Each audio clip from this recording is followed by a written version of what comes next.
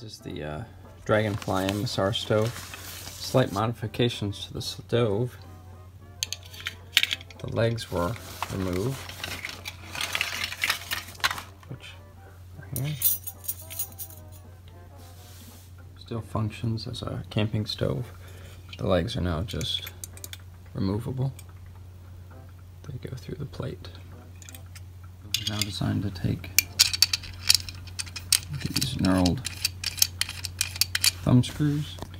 This is the base, basically the firing unit.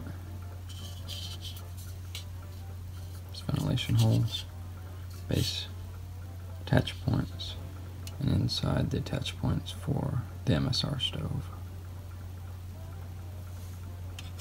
Here the stove's mounted. Three thumb screws.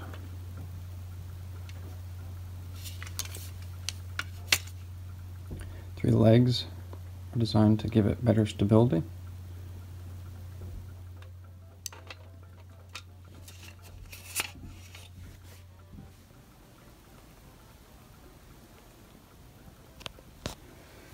Part of the chimney, double wall construction, stainless steel liner, helps keep the heat in as well as keep the outside cool.